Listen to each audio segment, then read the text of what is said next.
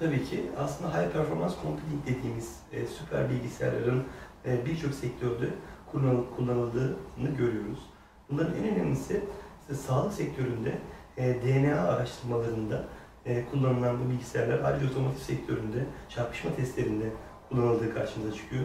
Yine keza özellikle e, hava yani uçak güvenliği ile alakalı, uçakların simüle edilmesiyle alakalı testlerde yine keza kullanıldığını görüyoruz.